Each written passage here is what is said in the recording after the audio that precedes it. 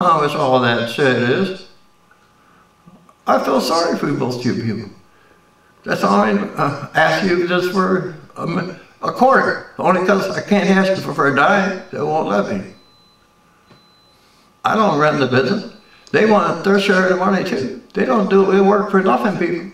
Everybody has to go to work and make a living and support their families. Everybody. Not just you people. Everybody has to do it. I have to do it. And, you know, let's go back to what Weiss said bad of me asking for a few pennies a week for people to demand that I sing some of her songs. Make requests. I don't know how old they are. I don't even know what sex they are. Sometimes I kind of get, I don't, I wonder to myself, I wonder if this is a man or woman with, or is it a boy or a girl? I don't know. And I definitely don't know that you're not even out of high school yet or grade school, and you're watching my channel, and I'm asking you to do a quarter week, and you can't afford it. I already know that. But I don't know how old you are, so how can I respond to you? I'm responding to you like a 18 or 19 ago. You're out of school, you got a, a job, you're working at McDonald's or something, or some other kind of low-paying job, but you got something. I can't ask you for less than a quarter a week. They won't go any lower than that. I don't know how old you are. I don't even know if you're white or gay, or black or yellow. Nothing. Know nothing about you. I'm just asking for a, a small support. I have a $125 a month internet bill. Who's going to pay for that? Who's going to pay for $100 a year or so the Geek Squad charges me when somebody fucks with my computer? You think that's for free? Because I'm Johnny Dee? no, it's more expensive because I'm Johnny Dee. But I don't mind. If I could ask for less than a quarter a week, believe me, I would. I don't control the prices. The people who work for Patreon, they have to make a little bit of money too. They don't ain't gonna work for free people. No, nobody's free. And all that stuff they, give you away on the internet or on your cell phone, it's all a scam. Nobody ever gave me nothing for free. Not even a small box of ties or some, a sampling of some product cheap in the mail. Didn't even get that and ask you thousands of questions. Who are you want some insurance? You want this, you want that, we can provide this for you. All to get your phone number so they can tie up your phone all day long. You know what my son taught me? How to just accept the people that are in your, your contacts in your phone. And the rest you just put the do not disturb. And your phone will be busy all day long from the spammers trying to say this and that. You know the hundreds of calls I get for getting back brace for free from Medicare? It gets sickening after a while, people. Sickening. So you don't even bother answering your phone anymore. The important ones that leave a message, you can call them back. That's the only reason. I got it. I don't know what to say to people. If I knew you were just a kid in high school or grade school making a request, I wouldn't bug you for that quarter a week. I would wait till you're 20 years old or older. You got a, a credit card. You get some money in the bank. You're working. I don't want you asking your parents for a quarter so you can watch Johnny Dee.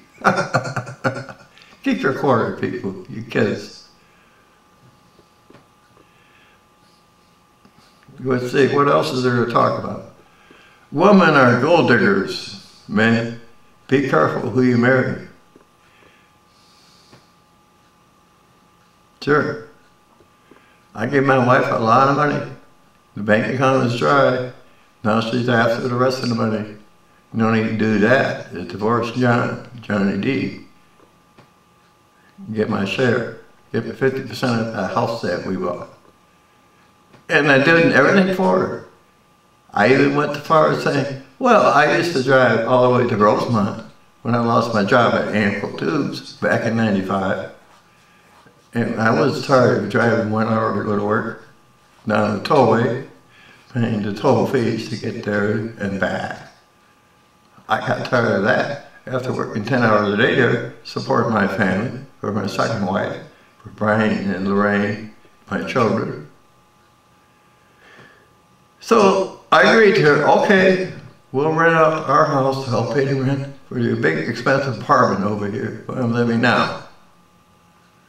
So you can be close to your job and only, you don't even have to take your car, you practically walk over there and do your job. Leave the car parked in the parking space over there in the apartments and save money on gas and have two hours extra a day to do whatever you want. That's too much boring drive to work every day and back. Since you don't want to teach the black kids around our neighborhood because they're too annoying, you can come down to the good schools where the black kids want to learn something and the white kids too. And then you can go to the brand new schools. Everything around here costs a fortune, people. And one thing I can't understand is you go to Walgreens here, where all the rich people live, and ask, can I get some extra money on my debit card? So I don't have to use a credit card at the bar and then send them no heavy call someday when your credit card's calling you next morning and tell you, sir, somebody spent $600 of really expensive clothing on your credit card. And we thought it looked suspicious. We want to let, let you know, I, it wasn't you that charged this? I said, no, I going to do with $600 uh, from England, from real expensive clothes? That's what happened when I used a credit card at a bar. Did I go to every week? People are after your money. Some one of those bartenders there were a club I used to go to. They used my car to call in expensive clothes. And what are they going to do with expensive clothes? Maybe sell it to somebody for half price and keep the other money for other expenses. Who knows? That's the only reason I use a debit card to get money now, so I can pay cash at the bar. And you gotta watch where you pay them a 20 or a 10. Sometimes you give them a 20, and they say, oh no, you only give me $10, sir. Here's your change for a thing.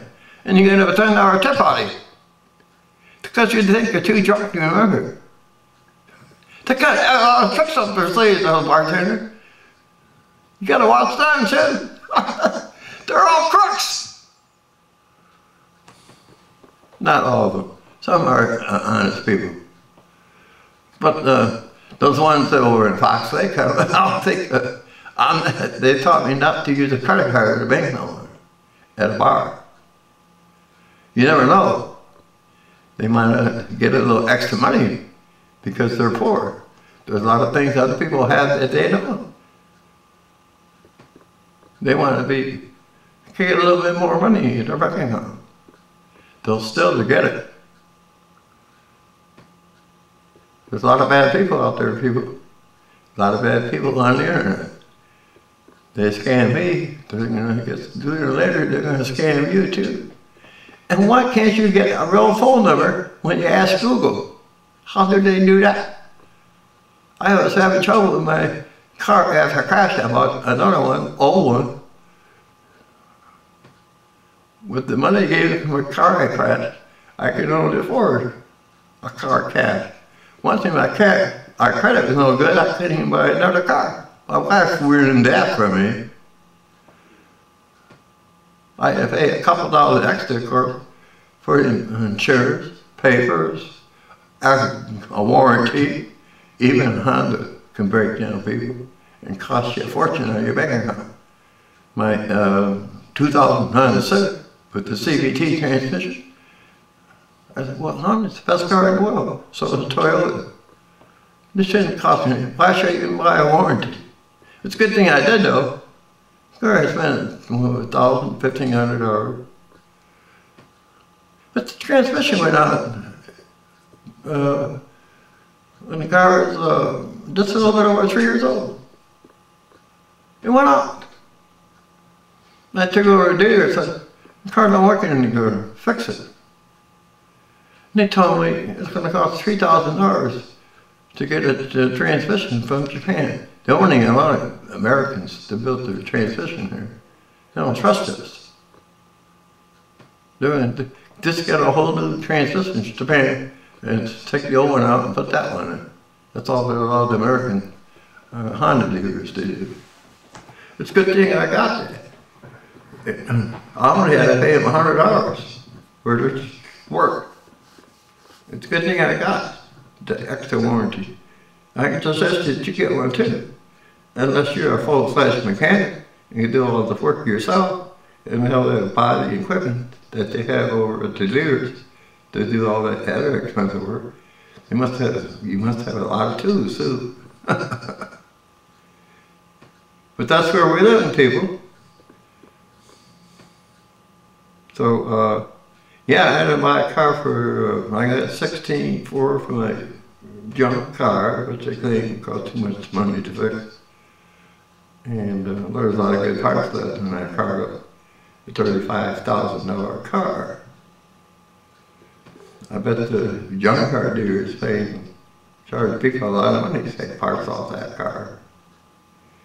I'm sure they're the insurance company can get their money back. And even if they don't, they're gonna get it back when the next time you apply for insurance, they're gonna charge the fuck out of you. You're gonna be paying to those people. The only reason you have insurance is to pay for all the other people getting accident.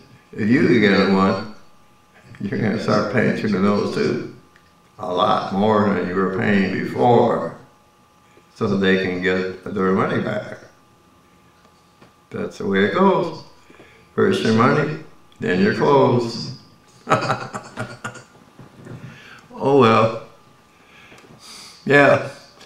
I'm happy, uh, but uh, my Civic, I want a GPS like I had in my Honda Accord that I crashed.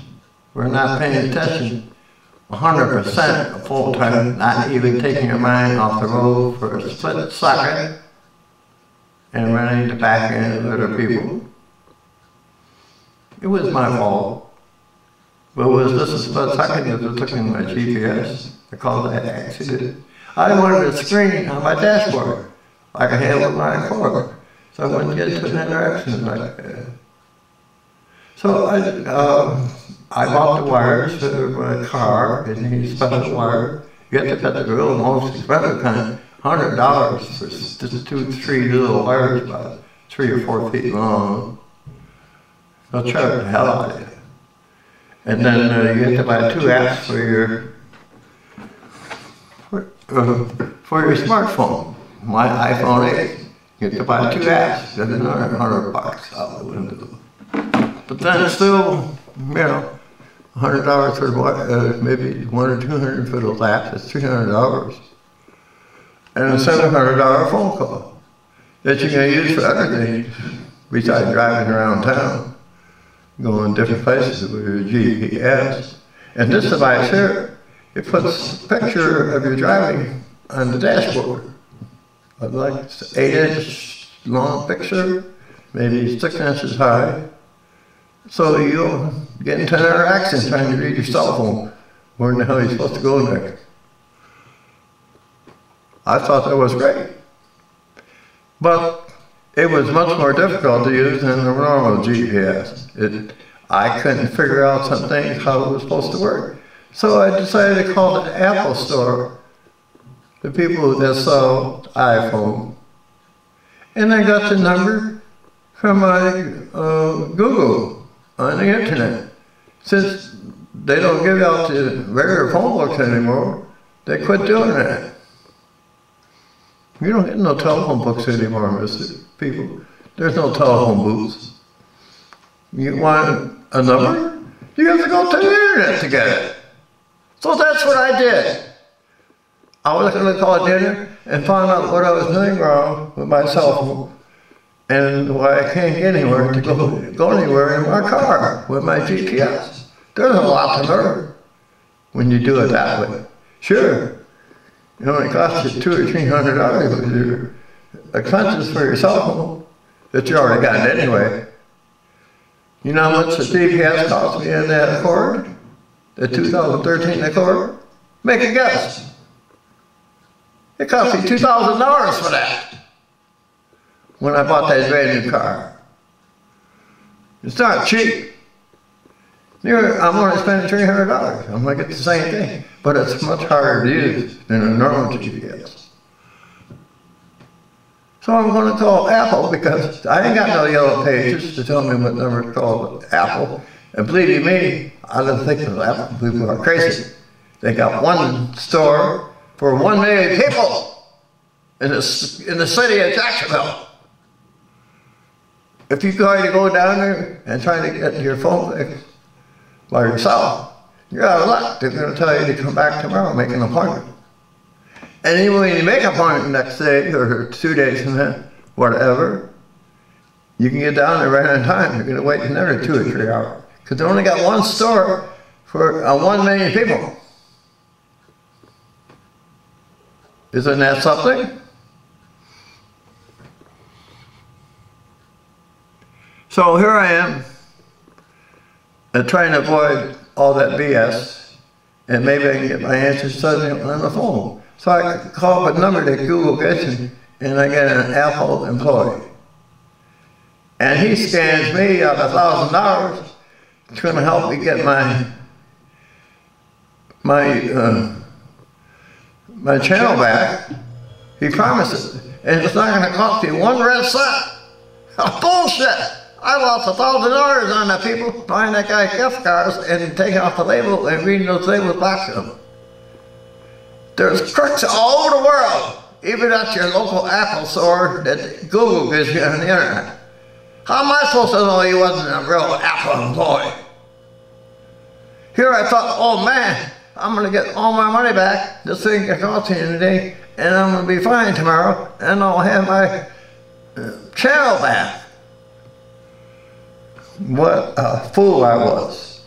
There was another dollar It's a good thing when I bought those cell phones with my wife for our last anniversary, which I'm glad that she remembered something that she got from me.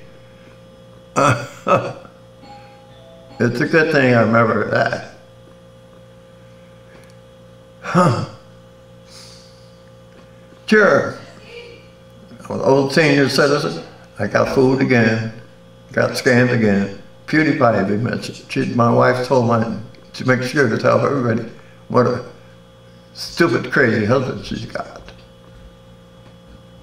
After I helped her, I spent all my life savings on her and everything. Now she wants to be so she can get more money.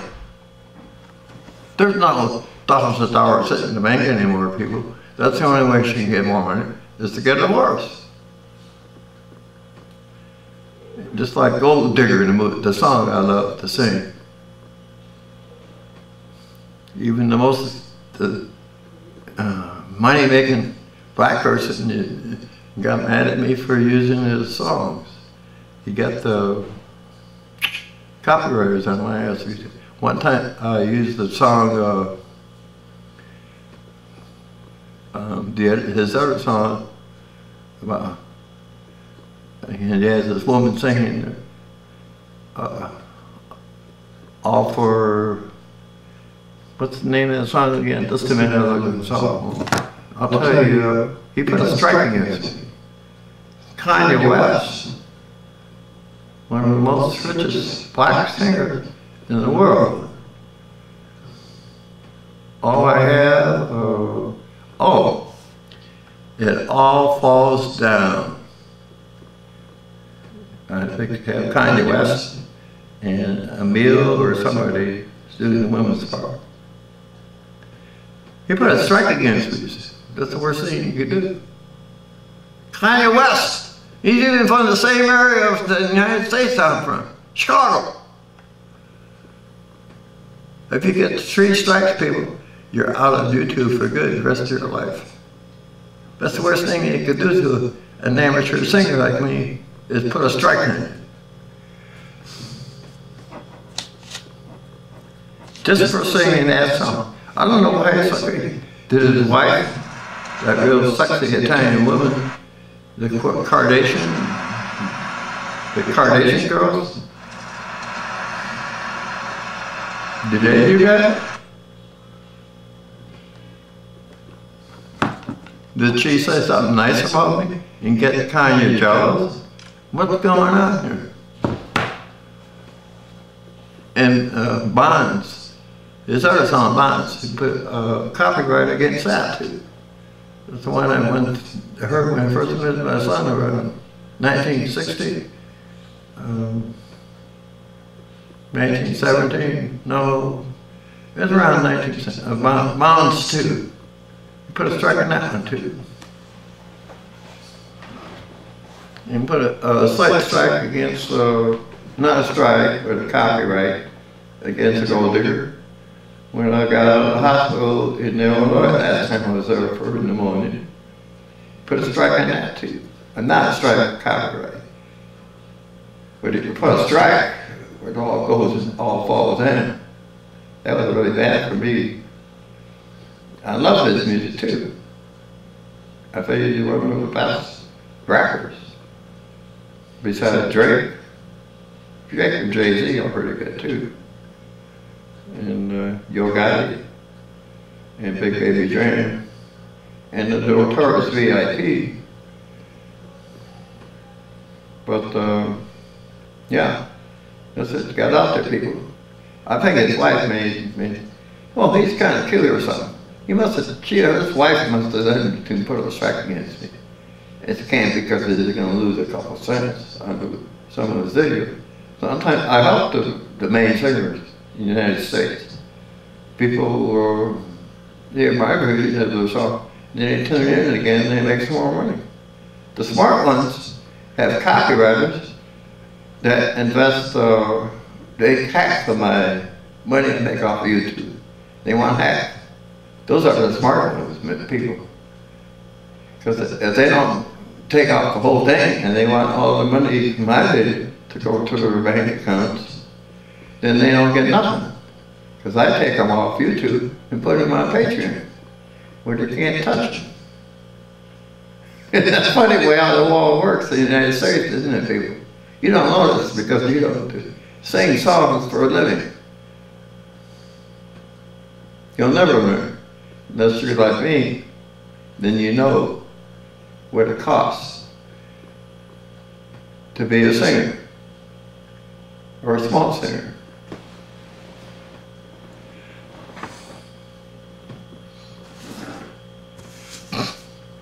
I think my son will probably be better in taking over for me after I kicked the bucket than my daughter. He really, uh, he gave it him. It took me forever I trying to find my own son's song that I put on there because I didn't put the name of the song and the artist or something. You have to put down exactly what you call that song when you go back in history and try to find out how many views does my son have now? They wouldn't let me. Who in the hell is running the nerves? I mean, as I said that because they wouldn't show me. Just show me all the other Bryans in the United States. And there's thousands of them. But I found out today, because I asked it, to go through his records, and he found what I, the name I did put down. It's called, instead of his rap song, which is a strange name myself, because I never recognized it as being the rap song, so I didn't bother about it. But he got 13,000 views from it. So maybe he's the one to take over D. My, my daughter, uh, even though she's only been a week, I think she's only got like 1,300, not 13,000. Who knows? Maybe, maybe it's next year, maybe it will be up to Brian's 13,000. And my son also did a, a record song but you guys didn't uh, say too much about that one, even though it's one of your most famous singers. Ed Stremmer, Stan Stremmer, the one kid has uh, slightly red hair, just like my kids too. My of my kids have slightly red hair because their mother was Irish. You have two other uh, nationalities, plus they've got my three in my children. I mean, it's uh, my wife's second wife. She is uh, Irish, uh, English, and Dutch. Um, of course, me, I'm Italian, French, and Polish. So my kids got six nationalities. They're mutts, like most of us are nowadays. But we're healthier. The more nationalities you have in you, the healthier you are. Just like those dogs, if they're one of the same uh, heritage, they're not as healthy as one, a variety dog. Even dogs, it helps out them too. Well, that's the way it goes, people. Anyway, um, let my wife explain to you how bad of a husband she had because I didn't wish her, oh, honey bunch, you did so good by getting your bachelor's degree, just doing it your own I with to computer at home. What a bunch of bullshit. And I let her, as you people know, some of you complain about it, I let her use my channel because I loved her. And look what the thanks she gives me. You think, how far is she going to get with her 6,000 subscribers? How much uh, is she going to get for her streaming? How many people are going to hand her uh, five, ten dollars? I think she's doing one thing right. YouTube, YouTube must like her because they're going to approve her, send her a check pretty soon to her bank account. Something I haven't been able to do. But people, you know, that's not going to be very much. Well, she's going to stay off my channel. A gift I gave to her, and she's refusing because she wants to up all the lies about me to make herself look good.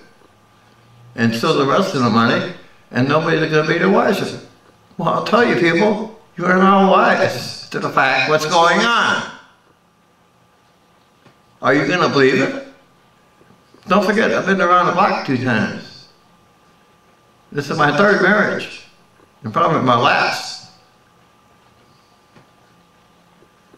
I think I'll ask my son to come here and we'll get a big apartment together and help him support and uh, be around my grandson that I'm going to get at the end of April, maybe the first of May, a boy, another grandson, or maybe I'll get my daughter and her husband moved down here. I certainly don't want to live near Chicago. You know what the people say now on the internet? Not talking about 911 anymore. Not talking about the Hollywood movie to the moon. They're not talking excuses they have to go to Afghanistan and Iraq.